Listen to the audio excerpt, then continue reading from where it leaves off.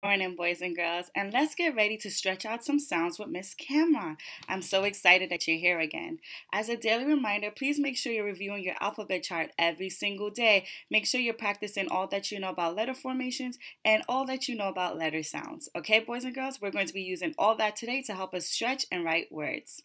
Before we get started, make sure you have your Elkonin boxes. And if you don't have your Elkonin boxes, that's okay. You could just draw three squares like I have. And then make sure you have some counters. And if you don't have counters, you could use any toys or pennies that you would like to use. And the last thing you're going to need is a marker. Okay, let's get started, boys and girls. So the first word we're going to sound out today is the word vet. Can you say the word vet? Okay, move your pieces into the box to hear all the sounds that you hear in the word vet. Go. Did you do it? All right, boys and girls, let's try this one together. V, e, t, vet. All right, boys and girls, now let's get your marker and write the letters to match the sounds that we hear in the word vet. Vet. What do you hear in the beginning? V, did you write the letter V? Yep, because V makes the V sound. All right, let's keep going. V, eh. Did you write the letter E? Yep, because E makes the eh sound. V, eh, t. Did you write the letter T? Yep, because T makes the t sound. V, eh, t. Vet. Okay, now your turn. All right, great job, boys and girls. Now let's get ready to do our next one. Erase, erase, erase, erase, erase, erase, erase, erase, erase, erase. All right, the next word we're going to stretch out is the word bib. Can you say the word bib?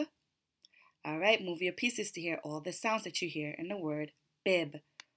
B, e, b, bib. All right, boys and girls. Now, can you try it by yourself?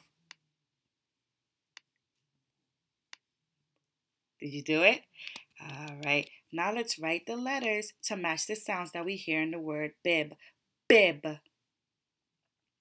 Did you write the letter B? Yep, because B makes the B sound. B, E.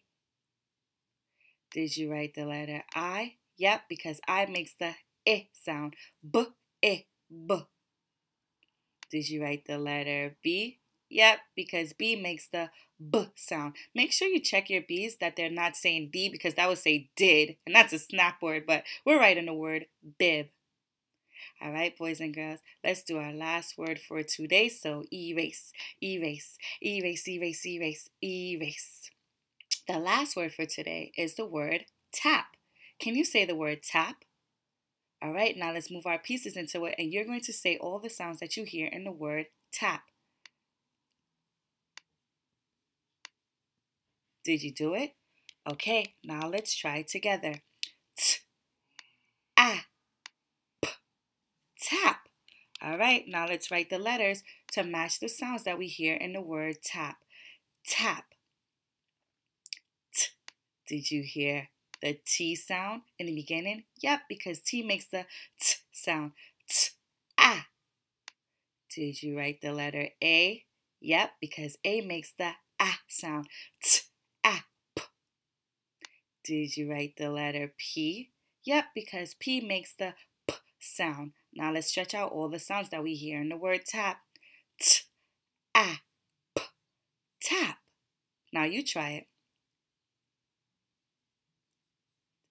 Great job, boys and girls. Boys and girls, you did such a good job stretching out your words with me today. I want you to keep practicing every day. When you're writing, stretch out all the sounds that you hear. And when you're reading, make sure you're saying all the sounds that you hear to put the word together. All right, boys and girls, thank you for working with me today. I'll see you next time.